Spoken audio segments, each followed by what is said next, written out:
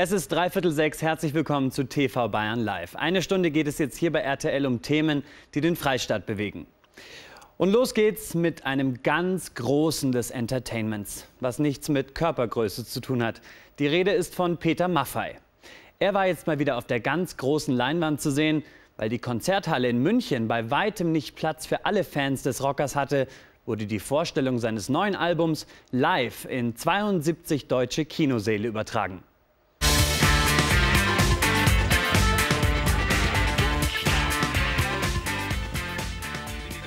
Wenn das so ist, so heißt das neue Album von Peter Maffay. Das wurde in München vorgestellt. Seit Freitag im Handel dürfte es sich einreihen in die Erfolgsgeschichte seiner Vorgänger. Alle Alben fanden sich seit 1979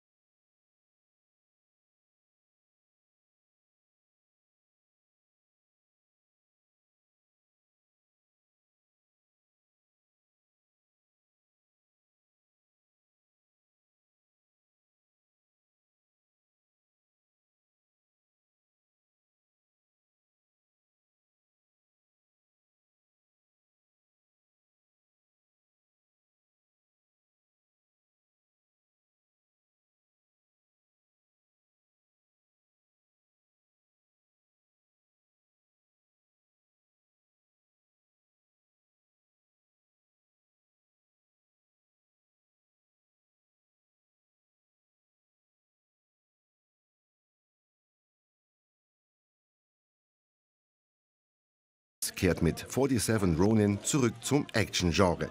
In dem epochalen Fantasy-Abenteuer spielt der 49-Jährige den Außenseiter Kai im Japan des 18. Jahrhunderts. 47 Ronin beruht auf einer wahren Geschichte, die im fernen Japan als berühmteste Legende von Generation zu Generation weitererzählt wird.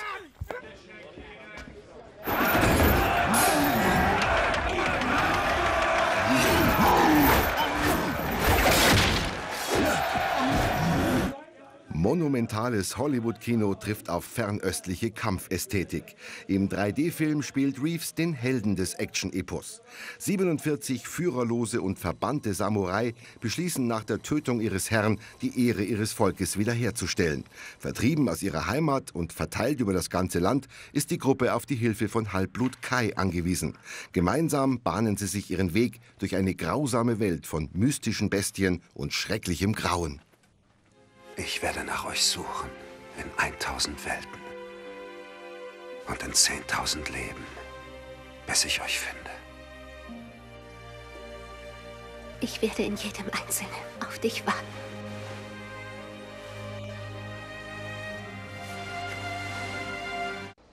Mit einem schelmischen Lächeln verabschiedete sich die Hollywood-Größe Keanu Reeves von den Fotografen. Der Filmstart ist übrigens der 30. Januar 2014. Er ist der starke Cowboy an der Seite Bully Herbigs, der Münchner Christian Tramitz. Nachdem es in letzter Zeit etwas ruhiger um den Blödelbaden geworden war, lässt er sich jetzt in der Noris blicken, zum ersten Mal. Fränkischer Humor trifft auf oberbayerische Spaßoffensive.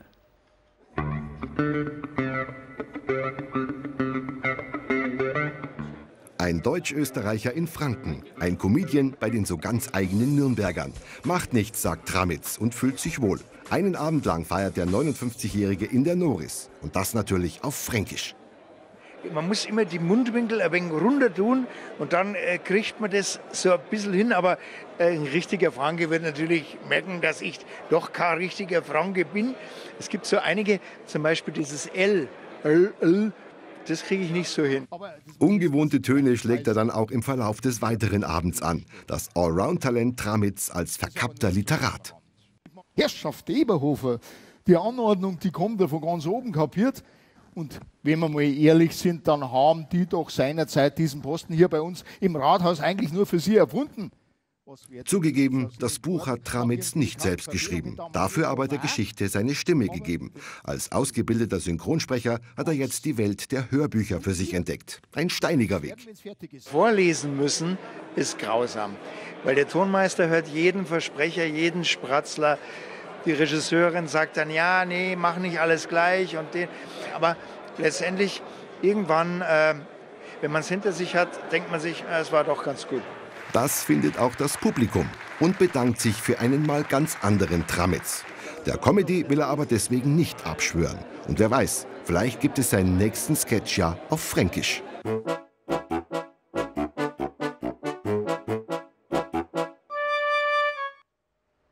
Die Wartezeit hat ein Ende. Nach fünf Jahren Sanierungsarbeiten hat das Deutsche Theater in München am Freitag seinen Einzug ins alte Stammhaus gefeiert. Die Sanierungs- und Umbauarbeiten waren geprägt von Pleiten, Pech und Pannen. Und das Haus wurde deutlich später fertig als geplant. Doch nun ist es soweit und wir waren für Sie bei der Eröffnungsfeier dabei.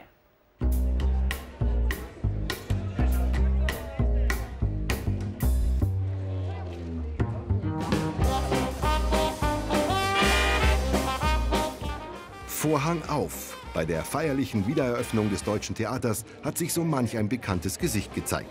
Der Andrang am roten Teppich war groß. Den Geschäftsführern Carmen Bayer und Werner Stehr sah man die Freude an, endlich ihr Theater wiederzuhaben. Und wie kommen die neuen Räumlichkeiten bei den Gästen so an? Ich finde ja, dass heutzutage Farben sehr wichtig sind. Und ich freue mich jetzt schon, weil ich, äh, so viel ich weiß, ist das Theater ein bisschen in Rot äh, gehalten. Und ich habe äh, heute extra rote Lackschuhe angezogen. Und na, Spaß beiseite, äh, ich freue mich drauf. Großzügig, äh, sehr schön, elegant. Wieder wie am Broadway. Also ich würde mal sagen, der Umbau hier unten im Foyer hat sich schon mal auf alle Fälle rentiert und ich gehe davon aus, von den Bildern, die ich auch im Internet gesehen habe, dass das Theater sicherlich ähm, ja mindestens genauso toll geworden ist. Die Eingangshalle, das Foyer, sehr schön geworden, sehr modern, sehr flott, großzügiger wie vorher. Das ist der erste Eindruck. Ne? Schönes Licht, ja. Pink finde ich gut. Rosa Licht ist immer gut. ich habe es nicht nur bereits besichtigt, sondern auch schon ausprobiert, und zwar als Akteur auf äh, der Bühne. Der Blick in äh, diesen Zuschauerraum und die Technik, die man auf der Bühne zur Verfügung hat, ist einfach fantastisch. Ich bin sehr angenehm überrascht. Also ein gutes Styling, die Arbeit, die jahrelange Arbeit an dem Haus hat sich erstmal hier draußen gelohnt. Also jetzt bin ich natürlich sehr gespannt, wie es innen drin ausschaut. Innen feierten die Gäste der Eröffnungsgala den Wiedereinzug in die Schwanthaler Straße zu den Klängen der Münchner Philharmoniker. Lange hat's gedauert. Ganze fünf Jahre wurde das 120 Jahre alte Haus ummodelliert und modernisiert. Nun können hier wieder Klassiker wie Grease oder Thriller aufgeführt werden. Das ist einfach ein, das ist ein, ein, ein Theater, das hat Varieté, das hat Boccara, das hat Opern, das hat äh, Operetten und hat Bälle, das ist äh, Musical, das ist einfach alles da, was es gibt. Ne? Ja, wissen Sie, ich habe natürlich eine ganz spezielle Beziehung gerade zum Deutschen Theater als Aufsichtsratsvorsitzender, weil ich auch manchmal auf der Bühne stehe. Und der schönste Moment ist, wenn das wunderbar gelaufen ist und mich entspannt zurücklehnen kann. Ich weiß noch, ich hatte hier noch meinen Abschlussball und sowas alles Mögliche noch bei der Semmer. Dann habe ich hier Fasching gefeiert, dann habe ich die wunderbare Evita-Aufführung gesehen und viele, viele andere Aufführungen hier. Es ist eine zentrales, ein zentrales Theater und es ist für Menschen, die in München gern leben und hier sich vergnügen wollen. Mit dem Broadway-Klassiker West Side Story startet das Deutsche Theater in die erste Saison nach der Wiedereröffnung.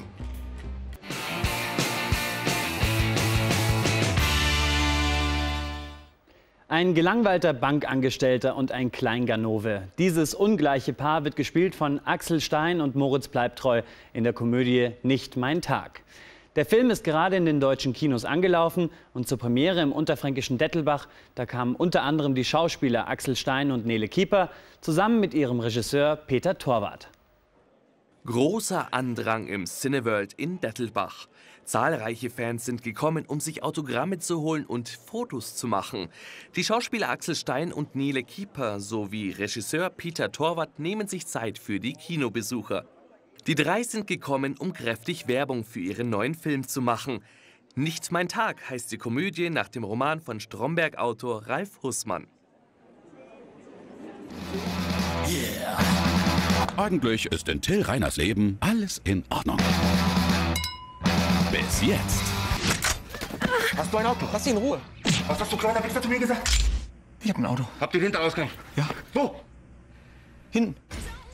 Ein gelangweilter Bankangestellter trifft auf prolligen Kleinganoven und entdeckt dabei, dass mehr in ihm steckt, als er ahnen konnte. Der biedere Spießer Till Reiners, gespielt von Komödienprofi Axel Stein, erweist sich sogar als hilfreicher Partner für Ganove Nappo alias Moritz Bleibtreu. Du hast gesagt 15. Das war netto, Junge. Der Vertrag ist gar nicht gültig. Was hat denn der Zivilist dazu kamellen? Also ein Händler sollte im Vergleich zu einem Privatverkäufer eine Mindestgewährleistung von einem Jahr garantieren. Und die steht gar nicht drin. Insofern ist der Vertrag nicht gültig, juristisch gesehen. Mando!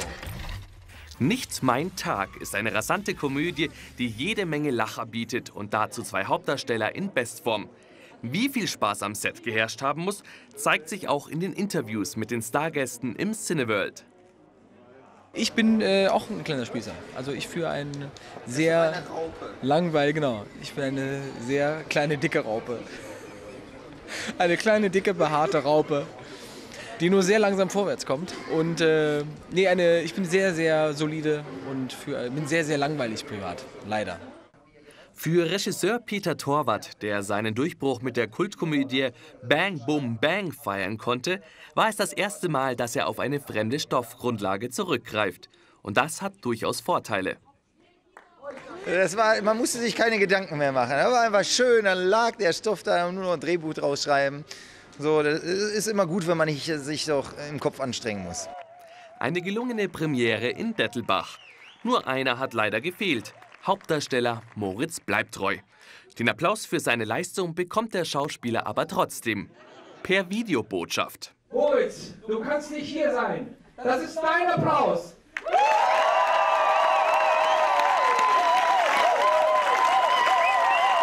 Liebe Zuschauer, wir machen jetzt eine ganz kurze Pause und danach geht es unter anderem weiter mit den Plagiatsvorwürfen gegen den neuen CSU-Generalsekretär. Bis gleich, bleiben Sie dran.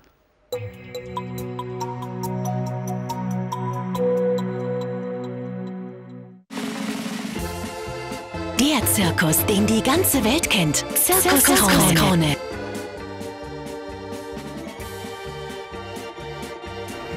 Bitte Zeit ist Krone-Zeit. Meine Stadt, mein Zirkus. Krone endlich wieder in München. Jetzt mit dem ersten Winterprogramm. Tickets und Infos unter www.zirkus-krone.de und 089 545 8000. Ich vertraue auf die Heilkraft der Natur. Deshalb nehme ich Rosaxan. Rosaxan gibt uns die Kraft der Natur für aktive Bewegung und Lebensfreude. Rosaxan erhalten Sie in allen Apotheken und Reformhäusern. Weitere Informationen unter www.rosaxan.de. Rosaxan, damit Bewegung wieder Freude macht. Eine Zahnbehandlung kann teuer werden. Sparen Sie bis zu 70 Prozent durch eine Behandlung Ihrer Zähne in Ungarn. Zum Beispiel bis zu 14.000 Euro bei einer Totalbrücke. Mit Denta günstig fliegen Sie für 199 Euro zur Voruntersuchung für zwei Tage nach Budapest, inklusive Röntgenbild und Hotelübernachtung. Nutzen Sie das Denta günstig Kennenlernangebot. Zwei Tage Budapest für 199 Euro. Infos auf www.dentagünstig.de oder Sie rufen jetzt an unter 0800 23 00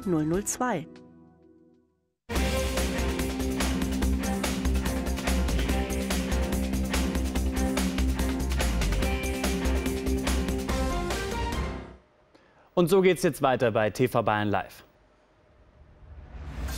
Rettung geschafft. Warum beim Fernsehersteller Löwe jetzt aber doch noch viele Mitarbeiter zittern müssen.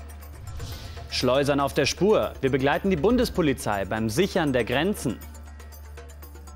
Und Entschärfung in Nürnberg. Warum in der Noris so viele Fliegerbomben gefunden werden.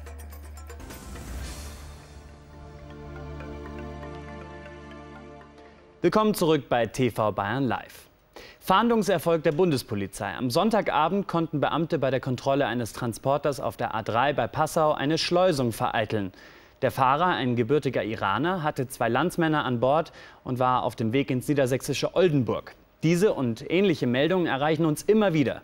Die Beamten der Bundespolizei sichern im Schichtbetrieb die Grenzen zu Österreich und der Tschechischen Republik. Hintergründe. 10.000 Quadratkilometer Einsatzbereich entlang der Grenzen zu Tschechien und Österreich. Hierfür sind rund 300 Beamte der Bundespolizeiinspektion Freyung zuständig. Ihr Ziel, Sicherheit im Grenzraum gewährleisten. Unser absoluter Schwerpunkt im grenzpolizeilichen Bereich ist einfach mal die Grenze nach Österreich. Äh, dort sind die Hauptmigrationsrouten, da befindet sich die berühmte Balkanroute.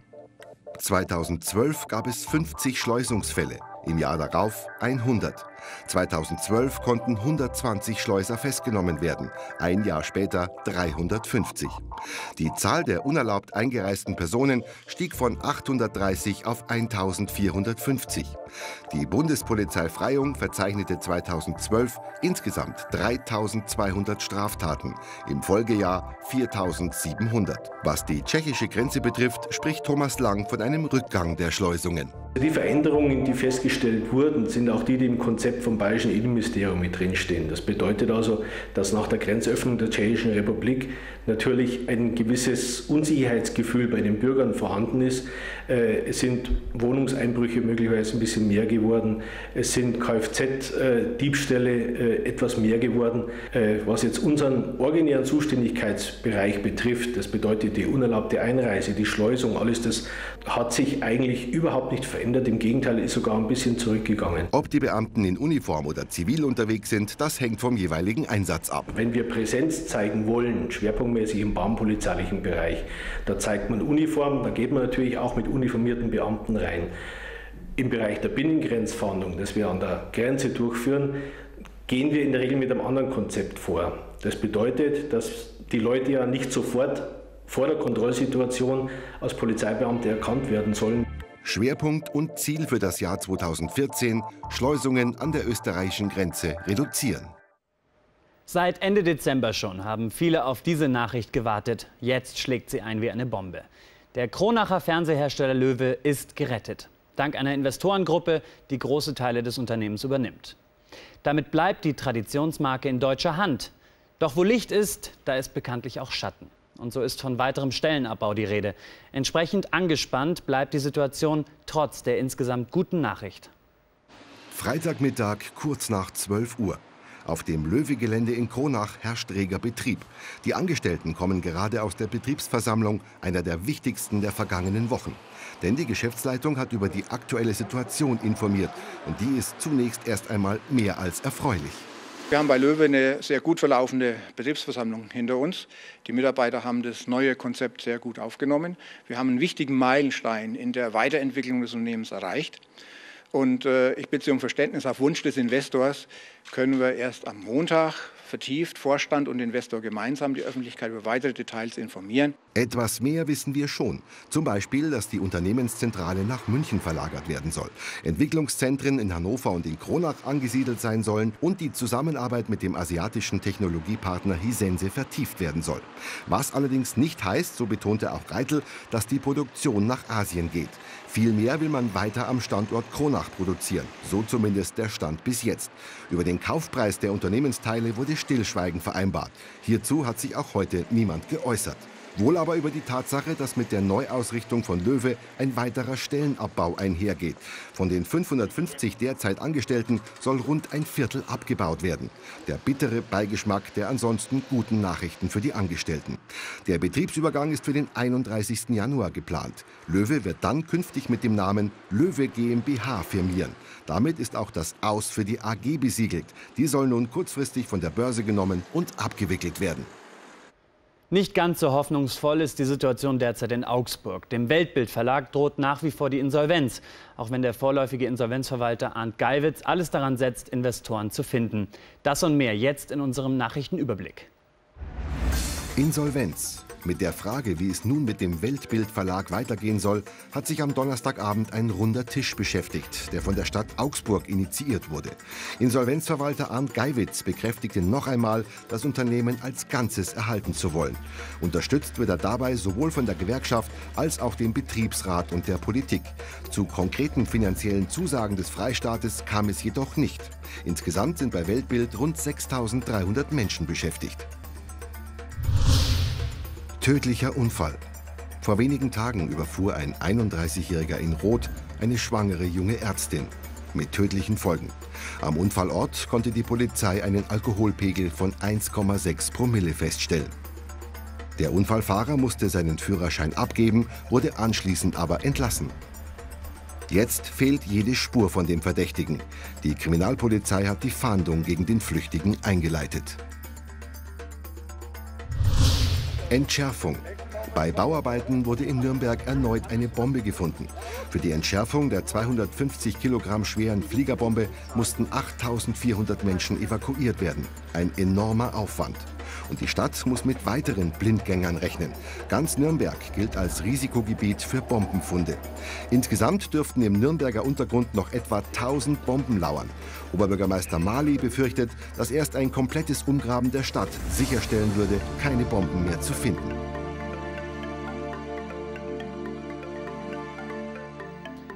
Schon wieder ist ein Politiker mit Plagiatsvorwürfen konfrontiert. Dieses Mal geht es um den Doktortitel des neuen CSU-Generalsekretärs Andreas Scheuer.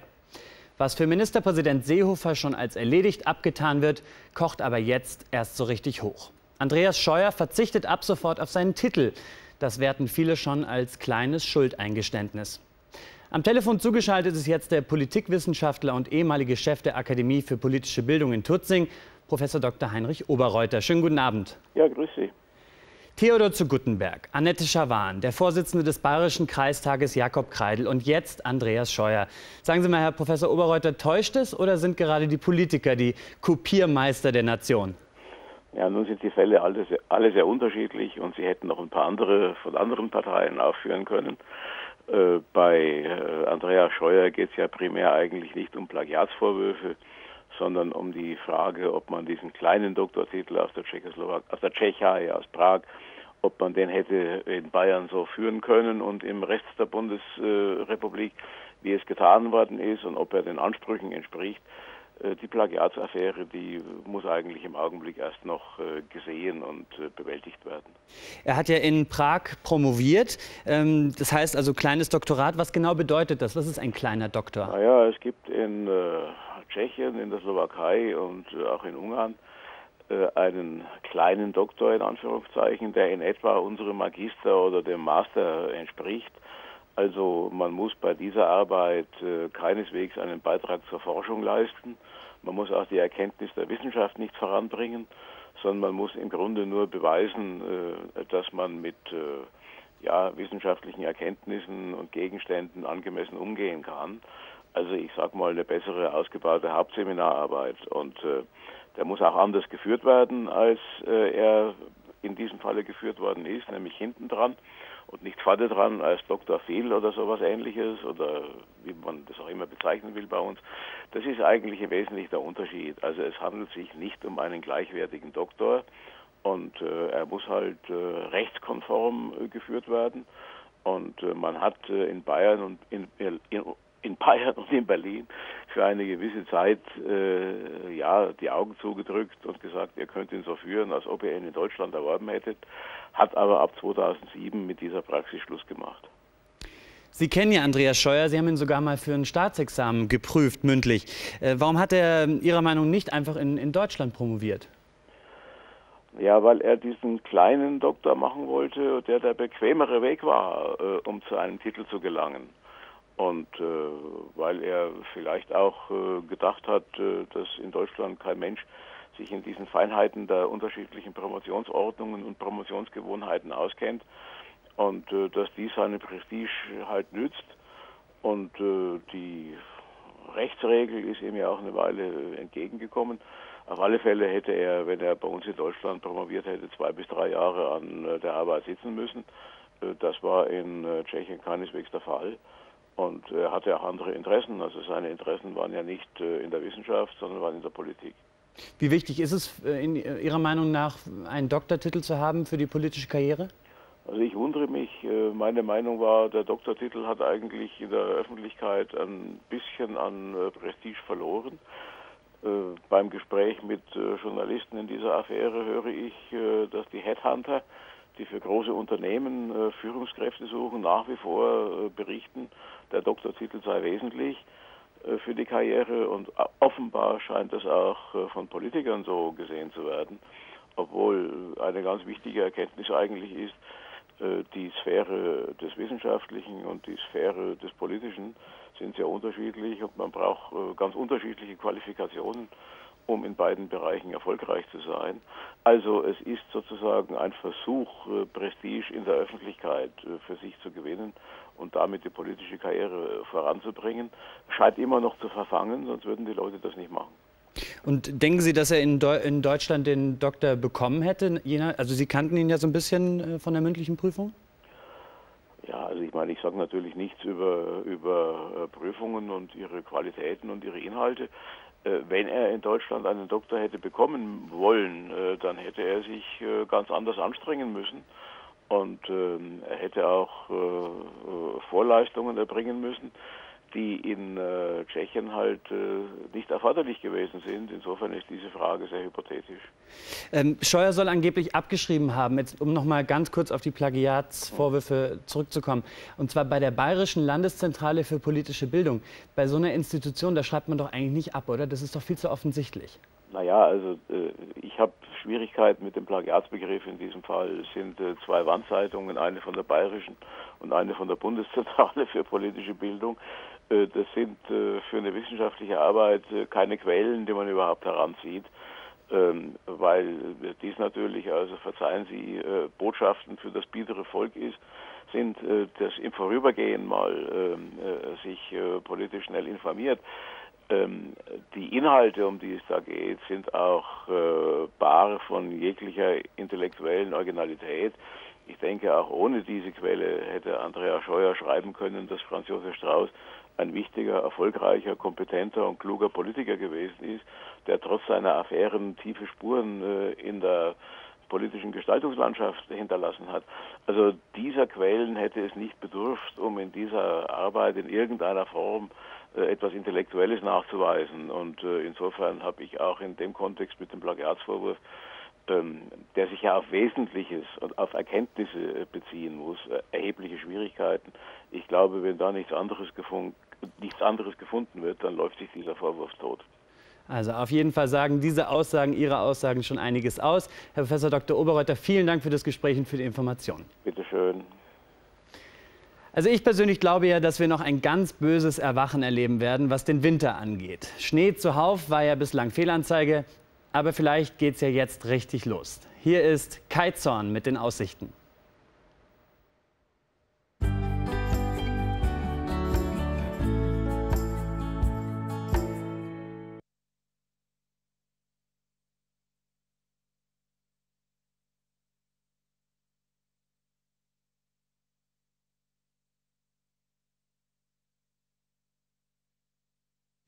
Der bisher rekordmilde Januar geht ganz, ganz langsam zu Ende. Die Temperaturen werden in dieser Woche zurückgehen, erreichen aber noch nicht winterliches Niveau.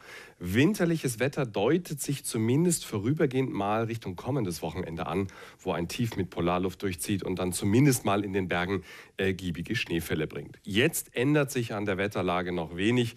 Wir haben es weiterhin mit vielen Nebel und Hochnebel in der Nacht zu tun oder vorhandene Nebelfelder verdichten sich, es breitet sich wieder neu aus. Die Tiefstwerte liegen im Schnitt so zwischen plus 2 und minus 2 Grad. Ganz vereinzelt kann es auch Reifglätte geben oder örtlich fällt ein bisschen Nieselregen. In Franken erwartet uns am Montag tristes Wetter. Im Laufe des Tages setzt dann von Hessen und Württemberg her leichter Regen ein, der später das östliche Mittelfranken und auch das Vogtland erreicht. Die Temperaturen liegen so bei maximal 3 bis 5 Grad. Im Osten, ach, wir haben ja erst noch den Wind, der ist ganz, ganz, ganz schwach, den spüren wir kaum. Jetzt kommen wir zum Osten und zwar in die Oberpfalz und nach Niederbayern. Hier ist es auch nach einer trüben Nacht weiter trüb, also in der Nacht trüb durch Nebel und Hochnebel, tagsüber dann durch dichte Wolken und im Laufe des Tages setzt dann vor allen Dingen in der nördlichen Oberpfalz, in der Steinpfalz leichter Regen ein. Die Temperaturen erreichen im Schnitt um die 5 Grad, in einigen nebeligen Niederungen werden es nur 2, 3 Grad sein, so wie Richtung Rottal beispielsweise. Der Wind ist auch hier sehr, sehr schwach,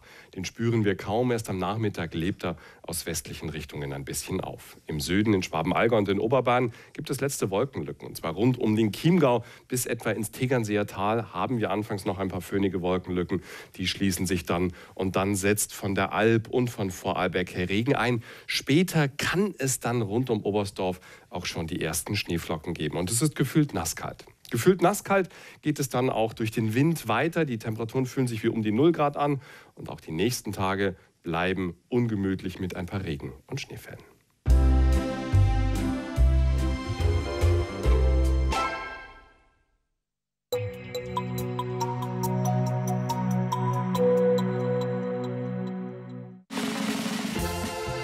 Der Zirkus, den die ganze Welt kennt. Zirkus Krone.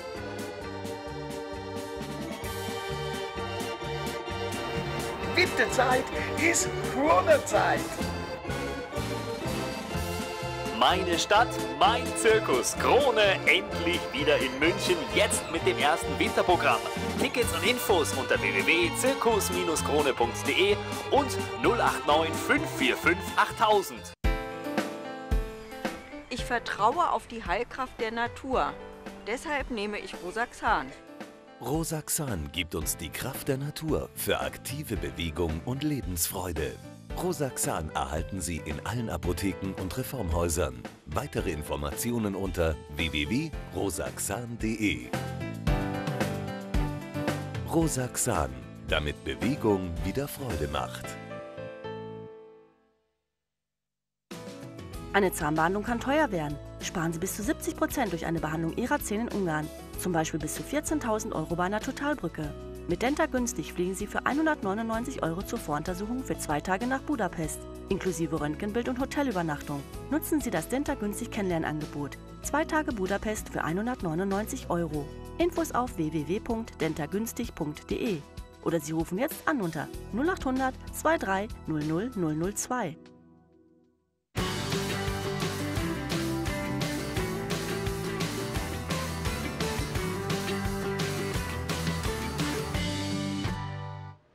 Willkommen zurück bei TV Bayern Live. Haben Sie schon mal was vom niederbayerischen Las Vegas gehört? Die Rede ist von der Stadt Mainburg. Für Freunde des Glücksspiels ist die Hopfenmetropole schon seit Jahren ein Paradies. Wenn es nach Bürgermeister und Stadtrat geht, soll damit aber bald Schluss sein. Die Stadt Mainburg ist ja bekannt als die Hopfenstadt Bayerns. Aber nicht nur der Hopfen wächst hier ganz gut, sondern auch die Glücksspielautomaten sind in den letzten Jahren wie Pilze aus dem Boden gewachsen. Auf 88 Einwohner kommt hier in Mainburg ein Glücksspielautomat. Der Stadt Mainburg ist es jetzt zu viel und deswegen hat man den Spielhallenbetreibern jetzt den Kampf angesagt. Viva Las Vegas! Viva Las Vegas! 2005 gab es in Mainburg nur ein Spielcasino. In den letzten acht Jahren sind laut Ordnungsamt Mainburg geschlagene 14 Spielhallen dazugekommen. Das Ergebnis, die Spielautomatendichte ist hier viermal so hoch wie der bayerische Durchschnitt. Aber warum gibt es gerade in Mainburg so viele Spielhallen? Wir fragen beim Bürgermeister von Mainburg nach. Ein Grund sei wohl die zentrale Lage Mainburgs. Wer anonym bleiben will, fahre hierher in die niederbayerische Kleinstadt. Das andere sage ich jetzt mit Anführungsstrichen. Mainburg hat natürlich einen sehr hohen Migrationshintergrund und auch unsere ausländischen äh, Mitbürger mit türkischen Wurzeln spielen gern. Die Stadt Mainburg habe in den letzten Jahren hilflos zusehen müssen, wie eine Spielhalle nach der anderen eröffnet wurde. Es fehlte die rechtliche Handhabe. Der Gesetzgeber ist gefordert. Er hat bereits gehandelt, bloß gibt es natürlich auch Bestandsschutz. Meine, auch diese Spiel, ja, äh, Casino-Betreiber haben investiert, kann man nicht von heute auf morgen dann das zusperren, das geht ja nicht. Man braucht eine Rechtssicherheit, aber es kann nicht sein, dass wir vierfach mehr haben als der bayerische Durchschnitt. Seit 2006 müssen Spielhallen mindestens 250 Meter voneinander entfernt sein. Mit diesem Gesetz konnte erst vor kurzem eine neue Spielhalle verhindert werden. Gerhard Lang von der ÖDP reicht das nicht. Der Stadtrat will in Zukunft mit einem sogenannten Vergnügungsstättenkonzept weiteren Spielhallen den Riegel vorschieben. Dann hat die Stadt Mainburg die Möglichkeit zu bestimmen, wo kommt ein äh, Spielcasino hin und wie viel werden es sein. Äh, betroffen sind natürlich nicht diese Spielcasinos, die bereits Bestand haben. Josef Reiser will den Spielhallen die finanzielle Grundlage entziehen. Ein Mittel ist die neue Sperrzeitverordnung der Stadt Mainburg. Seit 1. Januar müssen die Spielhallen von 3 Uhr nachts bis 9 Uhr morgens geschlossen sein. Auch Alfons Ziegler ist davon betroffen. Der Besitzer von zwei Spielotheken in Mainburg glaubt, dass keine weitere Maßnahme mehr nötig ist, weil die eine oder andere Spielhalle langsam von selbst schließt. Es ist ein Casino definitiv zu, nachdem das dreimal den Betreiber gewechselt hat. Und ein Casino hat auch weniger Automaten im Betrieb, als sie dürften. Und das spricht eigentlich dafür, dass der Markt gesättigt ist und ich glaube, dass sich der selber reguliert. Aktuell soll eine weitere Spielhalle geschlossen haben. Könnte also Mainburg schon bald seinen Ruf als Klein Las Vegas verlieren? Die Stadtväter würde es sicherlich freuen.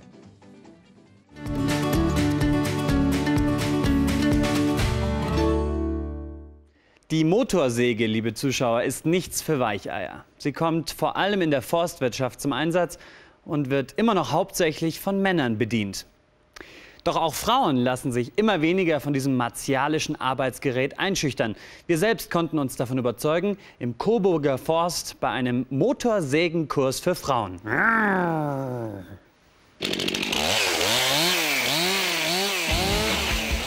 Motorsägen sind nur was für Kerle? Von wegen.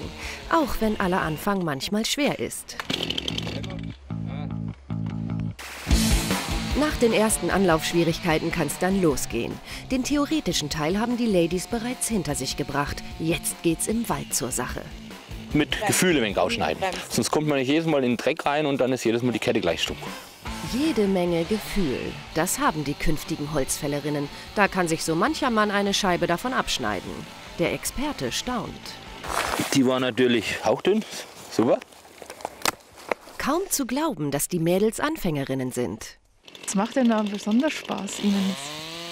Ja, doch dieses ähm, Scheibenschneiden oder so, weil man ja doch als Frau als Dekozwecke jetzt viel machen kann oder auch das Baumfällen, also wie das funktioniert, wie man es richtig machen muss. Also einfach die Übung, dieses Gefühl dafür zu bekommen, macht Spaß. Jetzt ist es wichtig, sag mal, dass man die Grundlagen kann und Spaß. Es ist halt freie Natur, man ist halt an der Luft und bewegt sich und ja, man kann dann im Winter warme Stube haben, weil man selbst das Holz macht und das schürt man vielleicht auch anders. Holzscheiben schneiden, entasten und dann die Königsdisziplin, das Baumfällen. Alles kein Problem für die Mädels. Da ist auch der Ausbilder voll des Lobes. Die Mädels sind sehr motiviert, muss man sagen. Das Gute ist, die haben überhaupt noch keine Kenntnisse gehabt mit der Motorsäge. Alles ganz frische, blutige Neulinge. Und da kann man halt von Grund auf beginnen mit den ersten Arbeitsschritten. Einfach bloß Scheiben schneiden, Scheiben schneiden, um Gefühl für die Motorsäge be zu bekommen, um das Vertrautheit mit dem Gerät herzustellen. Und das machen sie wirklich sehr gut. Und oft bei den Männern, wo zu den Kursen sind, haben sie oft schon Routinefehler eingeschlichen. Die Motorsägenkurse organisiert die Forstverwaltung gemeinsam mit der Land- und Forstwirtschaftlichen Berufsgenossenschaft. Für Waldbesitzer sind die Kurse kostenlos. Wir machen zwischen sieben bis zehn Kurse im Jahr, also überwiegend im Winter. Es sind immer 16 Teilnehmer und pro Ausbilder zwischen sieben und acht Leute nur. Und wir haben halt heute einen Damenkurs gewählt, weil viele Damen gerne einen ja, die Motorsäge in die Hand nehmen wollen, aber ein bisschen Angst haben, sich irgendwo bei den Männern zu blamieren. Und jetzt haben wir gesagt, wir machen einen Damenkurs und der wird auch sehr gut angenommen.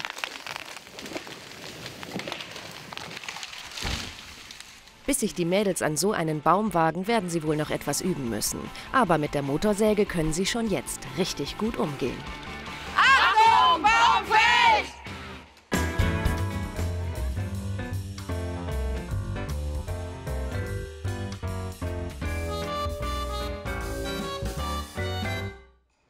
Und nach der Forstwirtschaft geht es jetzt weiter mit der richtigen Wirtschaft. Hier geht es erstmal weiter mit dem Wirtschaftsradar Bayern.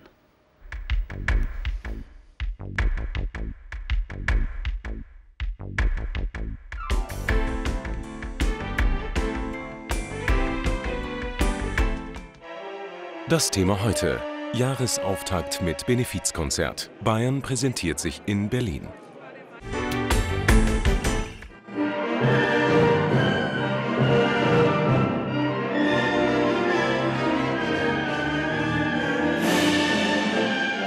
Das traditionelle bayerische Neujahrskonzert in Berlin sorgt wieder einmal für einen ganz besonderen musikalischen Genuss am Gendarmenmarkt. Denn zu Gast im Konzerthaus ist diesmal das Bayerische Staatsorchester unter der Leitung von Kirill Petrenko. Der neue Generalmusikdirektor der Bayerischen Staatsoper präsentiert mit rund 150 Musikern die dritte Symphonie von Gustav Mahler. Eine der großen Symphonien, äh, natürlich für uns besonders reizvoll mit äh, Solistin, mit Chor, mit Kinderchor, was ganz wichtig ist in der Bayerischen Staatsoper. Es war ein äh, extremer Genuss, ähm, er war auch sehr bayerisch, hohe Qualität, ähm, weltweit äh, an der Spitze, tiefe Emotion, was die künstlerische Fähigkeiten betrifft.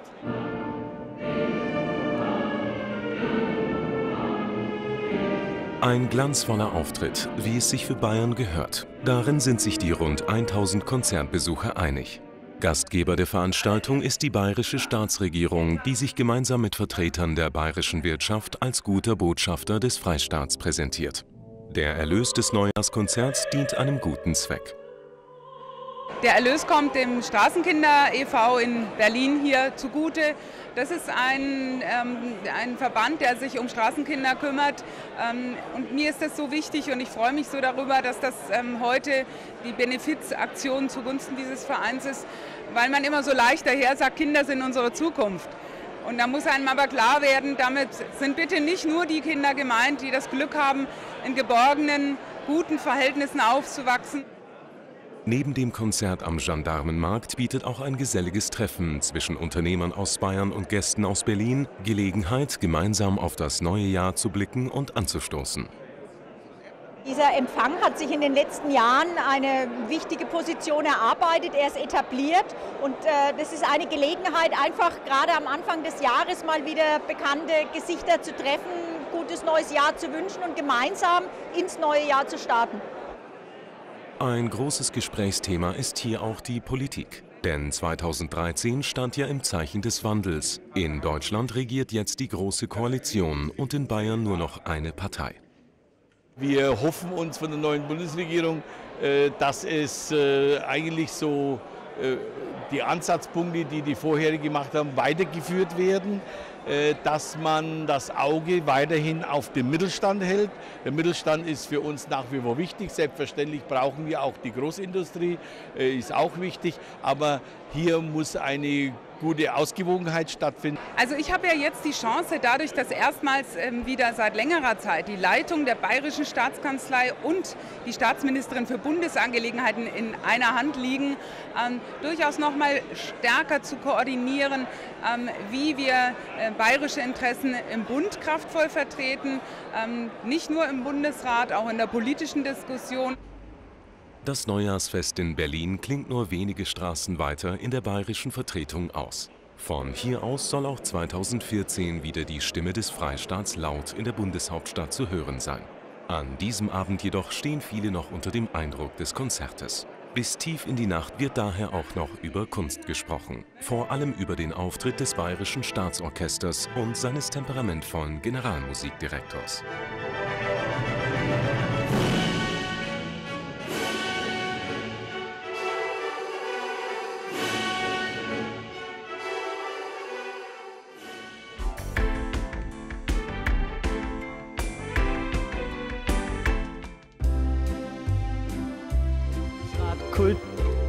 Glücksrat, Kultmoderator und Schauspieler Peter Bond hat ein Buch geschrieben. Nicht schon wieder so eine abgedroschene Promi-Biografie, werden sich jetzt denken, aber falsch gedacht. Peter Bonds Erstlingswerk ist ein 400-seitiger Liebesroman namens Miller. Am Mittwoch hat er in Burghausen aus seinem Buch vorgelesen, in dem es mitunter auch heiß zur Sache geht. Ihre Hand wanderte über seine festen Hinterbacken und die Innenseite seiner geöffneten Schenkel. Nikolai stöhnte vor Erregung und zog sie zu sich hoch. Sie lagen eng umschlungen und küssten sich leidenschaftlich. Miller, so nennt sich der Erstlingsroman von Peter Bond. Peter Bond ist vielen noch bekannt vom Sat1 Glücksrad oder auch vor fünf Jahren hat er im Dschungelcamp mitgemacht. Was viele nicht wissen, in den 70er Jahren war er auch Darsteller in Filmen für Erwachsene. Ob die ihn inspiriert haben, Miller zu schreiben, denn in diesem Buch geht es auch ein bisschen heiß her, oder was ihn dazu bewogen hat, das erzählt er heute hier in Burghausen. Im Dunkeln lässt es sich ja bekanntlich gut munkeln. Ein stimmungsvolles Kellergewölbe und überwiegend weibliche Zuhörer. Also mehr als passend für die Vorstellung von Peter Bonds Liebesroman Miller, in dem es um das Erwachsenwerden und das Leben einer jungen, kultivierten und emanzipierten Frau Anfang des 20. Jahrhunderts geht. Eine, sagen wir mal, bekannte deutsche Boulevardzeitung hat geschrieben, alle 19 Seiten ein Orgasmus. Ist Ihr Buch wirklich so verrucht? Ja, das haben die geschrieben, da bin ich auch sehr dankbar. Äh, zweifellos, äh, denn die Bild wird ja von fünf Millionen Menschen gelesen am Tag. Äh, es ist allerdings kein, kein Erotikroman, äh, wie es da dargestellt worden ist, sondern es ist ein ähm, Gesellschaftsroman mit einer eingebundenen Liebeshandlung. Und äh, ich habe mir dann die Freizügigkeit erlaubt, als Autor äh, bestimmte Bettszenen auszuschreiben, das heißt nicht nur anzudeuten mit Punkt, Punkt, Punkt, sondern die Dinge auch beim Namen zu nennen, weil ich finde, dass Sex heutzutage kein Tabu sein darf. Sie haben ja doch auch in den 70er Jahren, sagen wir mal, etwas andere Filme gedreht. Haben die sich vielleicht auch ein bisschen ja, inspiriert, nicht jetzt besondere Szenen zu schreiben, sondern eben auch ein bisschen offener mit so einem Thema umzugehen? Also, dass man wirklich auch sagt, wir können sowas aufschreiben, wir können sowas einfach auch ein bisschen ausführlicher aufschreiben? Also ich hatte immer ein ganz äh, gesundes Verhältnis zur Sexualität und das wünsche ich eigentlich jedem Menschen auf dieser Welt. Ich mag diese Heuchelei nicht so unter den Menschen. Auf der einen Seite machen sie alles im Heimlichen, auf der anderen Seite reden sie oder schreiben sie nicht drüber. Ich finde, das muss nicht sein, äh, gerade in der heutigen Zeit, wo fast alles erlaubt ist, was, was, was legitim ist. Und da, dazu finde ich, passt auch ein gesundes Sexualleben. Zu diesem Roman inspiriert hat ihn allerdings eine junge Russin namens Ludmilla, die er vor einiger Zeit in der Oper in München kennengelernt hat. Das Buch ist zwar rein fiktiv, allerdings hat Bond einige Karriereschritte und Szenen aus der Kindheit der geheimnisvollen Muse in seinen Roman einfließen lassen. Sie hat das fertige Buch auch als eine der ersten zu Gesicht bekommen. Miller als erste gelesen, äh, noch, eigentlich noch in der Rohfassung, also in der, in der Korrektur gelesenen Fassung, bevor es ins Lektorat ging. Und äh, ihr gefällt es sehr gut. Und äh, bei, den, bei den Stellen, als sie noch Kind war, sie hat mir so ein bisschen was aus ihrer Kindheit erzählt, das habe ich nicht, nicht eins zu eins übernommen, aber es ging schon in diese Richtung. Äh, da hat sie ein paar Mal geweint, hat sie mir erzählt. Ein richtiger Liebesroman ist es eben geworden. Mit vielen Gefühlen, Sehnsüchten und auch etwas prickelnder Erotik. Auch an seinem zweiten Roman ist Peter Bond schon dran. Es geht zwar nicht erneut um Miller, doch seinem Genre will er treu bleiben. Und solange er am zweiten Buch arbeitet, möchte er noch bei weiteren, vorwiegend weiblichen Lesern die Lust am Bondschen Liebesroman wecken. In der zweiten Jahreshälfte geht der Autor nämlich auf große Lesetour durch Deutschland, Österreich und die Schweiz.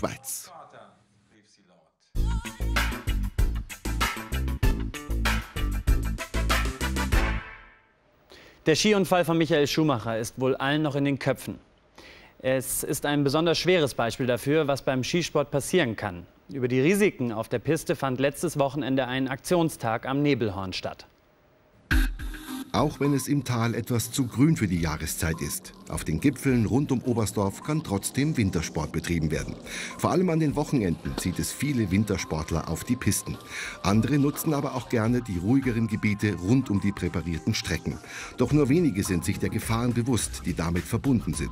Am Nebelhorn hatte der DSV deshalb eine besondere Aktion gestartet. An fünf Mitmachstationen stand beim Safety Day das Thema Sicherheit im Fokus. Teilnehmen konnten alle Ski- und Snowboardfahrer mit gültigem Skipass, egal ob Profi oder Anfänger. Die wollen wir mal ansprechen und sagen, neben der großen Freude seid euch bewusst, dass es damit auch Dinge gibt, die man als Risiko bezeichnen kann. Je besser ihr vorbereitet seid im Sinne von Material, im Sinne eurer Gesundheit, im Sinne eurer Kondition, im Sinne eurer körperlichen Verfassung, desto besser einen schönen Skitag zu erleben. Darauf wollen wir hinweisen, das wollen wir sensibilisieren und haben dazu vier Stationen aufgebaut, die die Skifahrerinnen und Skifahrer einfach mal durchprobieren sollten. An einer dieser Stationen konnten Interessierte ihre Geschwindigkeit vorher abschätzen und dann einen leichten Hang hinunterfahren. Ein Messgerät zeigte dann, ähnlich wie bei einem Blitzer, die tatsächliche Geschwindigkeit an. Und die war für viele überraschend. Denn schon bei einer kurzen Strecke werden schnell 30 bis 50 Stundenkilometer erreicht. Der Bremsweg ist dann entsprechend länger, als viele denken. Wir haben eine andere Station aufgebaut, wo man mal sagt, wenn man ganz außerhalb der Piste fährt, vielleicht einen Lawinen- oder hoffentlich einen Lawinenpiepser dabei hat, wie sucht man denn das? Wie findet man denn das? Hat man eine Idee, wie lange man dazu braucht, um auch da die Gefahren abzuschätzen? Nicht um vom Skifahren abzuhalten, sondern um nur verantwortlich damit umzugehen. Und das mit den vielen Skiläuferinnen und Skiläufern, die sich damit wahrscheinlich noch nicht alle in der Tiefe und Breite auseinandergesetzt haben. Der Andrang an den Stationen war groß. Viele suchten das Gespräch mit den Verantwortlichen. Denn hier wurde nicht mit erhobenem Zeigefinger belehrt, sondern beraten. Was der DSV bei den Wintersportlern ins Gedächtnis rufen will, wer Skifahren geht, der sollte sich entsprechend vorbereiten. Nur wenn körperliche Fitness und Ausrüstung stimmen, ist ein schöner Tag im Schnee garantiert da rennen wir in Anführungszeichen die offenen Türen ein, was heute Morgen sehr gut funktioniert hat, mit Groß und Klein, mit Eltern und Kindern. Und da sind wir, glaube ich, sehr positiv unterwegs.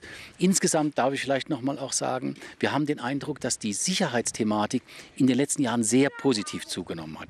Wirklich positiv. Aber es gibt einiges noch zu erläutern, zu erklären. Und das ist der Auftrag, den wir uns selber gegeben haben, eine Art gesellschaftliche Verantwortung des Deutschen Skiverbandes. Nicht nur über Sicherheit sprechen, sondern sie auch erlebbar machen. Das war das Ziel beim Safety Day. Eine gelungene Aktion für die großen und kleinen Wintersportler. Also der Schnee ist doch irgendwo noch, man kann Skifahren. Kann eine blinde Frau Bilder malen? Sie kann. Moderne Technik macht es möglich, dass Claudia Stiegelmeier-Geschichtszade ihre Farben hört. Beinahe täglich sitzt sie vor der Leinwand und bewältigt so auch ihr schweres Schicksal. Denn diese ungewöhnliche Frau war nicht immer blind. Diese Farben können sprechen. Moderne Technik macht es möglich, dass Claudia Stiegelmeier-Kischischzadeh ihre Farben hören kann, bevor sie aus der Tube kommen. Denn diese Künstlerin ist blind. Dann habe ich ein Gerät, das ist der Penfriend, das ist das hier. Und äh, der erkennt mir meine Farben. Das heißt, wenn ich Farben bekomme, dann äh, bespreche ich mit meinem Mann, welche Farben das sind. Und es gibt so besprechbare Etiketten. Und äh, mein Mann sagt mir, das ist zum Beispiel Royalblau, geht ins Königsblau. Und so bespreche ich mir dann meine Etiketten, dass ich weiß, welche Farbe ich in der Hand habe und kann dann mit dem Penfriend meine Farben hier noch abscannen, damit ich weiß, mit welcher Farbe ich male. Ich hätte jetzt nur ein bisschen eine Grundierung gemacht, aber dann machen wir da drauf einfach. Durch die Chemotherapie ihrer Leukämie hat Claudia Stiegelmeier-Kischischzadeh ihr Augenlicht verloren. Jetzt tastet sie mit den Händen ab, wie groß die Leinwand ist, die vor ihr steht. Schon drei Wochen nach ihrer Erblindung hatte sie wieder angefangen zu malen. Damals noch ohne technische Farberkennung mittels Penfriend. Das Malen half ihr trotzdem, das verlorene Augenlicht zu verkraften. Irgendwie hat mich das dann wieder zurückgebracht es geht noch. Ich wusste zwar damals nicht wirklich, was ich mache, weil ich ja gar nicht wusste, welche Farben wie wo, aber ab dann habe ich wieder angefangen zu malen, eigentlich drei Wochen nachdem ich blind geworden bin. Gemalt hatte sie schon als 18-Jährige, also lange bevor die schwere Krankheit ihr Leben vollkommen verändert hat. Deshalb kann sich Claudia Stiegelmeier-Keschischzadeh ihre Bilder auch heute gut vorstellen. Viele Menschen meinen immer, wenn man blind ist, sieht man schwarz. Und ich sehe nicht schwarz. Wenn ich male, sehe ich meine Farben vor mir, dann merke ich wirklich nicht, dass ich blind bin. Und ansonsten sehe ich immer weiß und nur wenn ich müde bin, sehe ich schwarz. Die blinde Malerin ist sehr fleißig. Die Vielzahl ihrer Bilder reichte sogar schon mal für zwei Ausstellungen gleichzeitig. So zeigte sie 21 Bilder in ihrer Heimatstadt Pfaffenhofen. Weitere Gemälde sind derzeit noch bei einer Jahresausstellung an der Uniklinik Köln zu sehen. Damit will sie anderen Patienten auch Mut machen im Kampf gegen den Blutkrebs. Ich hatte eine Leukämie und äh, habe ziemlich lang Chemotherapie machen müssen, Knochenmarktransplantation. Und durch diese ganze Behandlung sind einfach die Augen beeinträchtigt worden. Und das Knochenmark äh, ist immer noch in der Abstoßungsphase und durch das wurden meine Hornhäute abgestoßen und durch das bin ich jetzt blind geworden. Trotz ihrer schweren Krankheit hat Claudia Stiegelmeier-Keschichtzadeh niemals aufgegeben. Gerade das Malen hat ihr dabei geholfen, ihr Schicksal zu meistern. Denn wenn sie malt, vergisst sie, dass sie blind ist. Viele Menschen haben, glaube ich, unter blind immer die Vorstellung, dass man erstens regungslos irgendwo sitzen muss, dass man kein selbstständiges Leben führen muss, dass es ein sehr beeinträchtigtes Leben ist. Und ich will eigentlich damit zeigen, dass man als blinder Mensch ein ziemlich normales Leben führen kann. Man kann zu 90 Prozent alles selbstständig machen. Ich kann kochen, ich kann arbeiten, ich kann malen. Bunte, kontrastreiche Farben drücken die Kraft der blinden Malerin aus. Mit dem inneren Auge sieht sie genau, worauf es im Leben wirklich ankommt.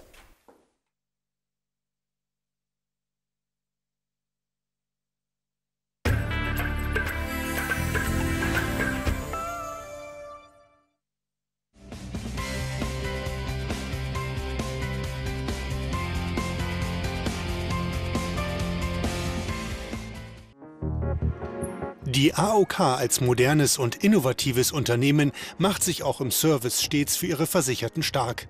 Und das nicht nur vor Ort, sondern auch online, zum Beispiel in den AOK-Ratgeberforen. In sechs Rubriken, vom Pflege bis zum Nichtraucherforum, können Kunden sich austauschen, informieren und wertvolle Tipps holen. Vor allem in die Rubrik Ernährung wird häufig geklickt. Also das Ratgeberforum Ernährung, da werden sehr viele Fragen zum Thema Abnehmen gestellt. Also das ist eigentlich mit das Überwiegende. Dann gibt es auch zwischendrin einmal ein paar Fragen, wenn irgendwelche Unverträglichkeiten vorliegen oder ganz spezielle Fragen, wie zum Beispiel Schwangerschaftsdiabetes oder Toxoplasmose. Aber der überwiegende Teil bezieht sich eigentlich aufs Gewicht. Mit Hilfe der Gesundheitskasse hat Melanie Kirsch es geschafft. In nur 13 Monaten hat sie unglaubliche 52 Kilo abgenommen.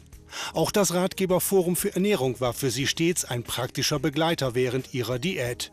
Für das Ratgeberforum der AOK habe ich mich entschieden, äh, weil ich es ähm, von zu Hause aus bequem nutzen kann und durch meine Familie, durch meine Kinder die Möglichkeit äh, nicht da war, äh, zu Treffen zu gehen.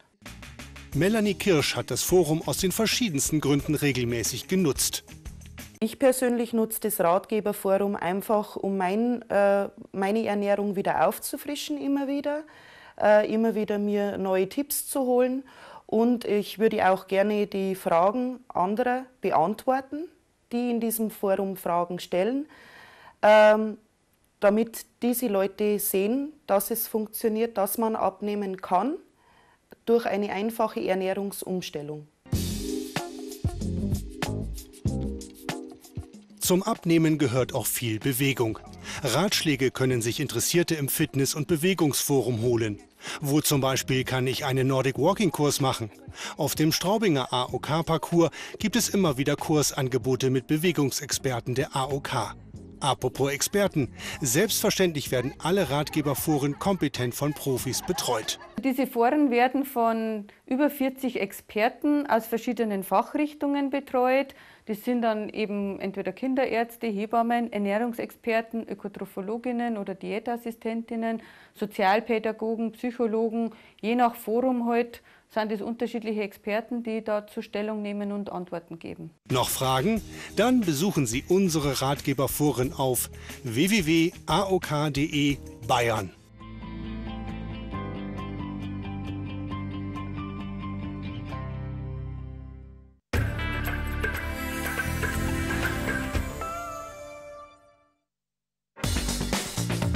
Löwenbiere Sensationen. TV Bayern zeigt Bayern von seinen schönsten Seiten. Fernsehen für alle, die in Bayern zu Hause sind.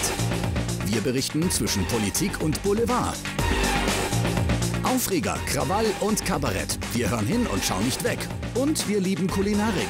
Dazu die Analysen unserer Korrespondenten, die dort zu Hause sind, wo es passiert. TV Bayern Live. Wir berichten über die Themen der bayerischen Wirtschaft. TV Bayern Live. Das heißt auch Sportsgeist und Partystimmung. Ganz Bayern in 60 Minuten. Einmal rundrum. Jeden Sonntag auf RTL um 17.45 Uhr. Ja, da sehen Sie, was Sie nächstes, nächste Woche wieder erwartet. Das war TV Bayern Live für heute. Die Sendung und viele weitere Infos finden Sie auch auf tvbayernlive.de. Und wenn Sie einmal einen Blick hinter die Kulissen von TV Bayern Live werfen wollen, dann besuchen Sie uns einfach mal bei Facebook. Also, bis dahin, nächste Woche Sonntag sehen wir uns wieder, dreiviertel sechs, wenn Sie mögen. Bis dahin, Servus, ciao.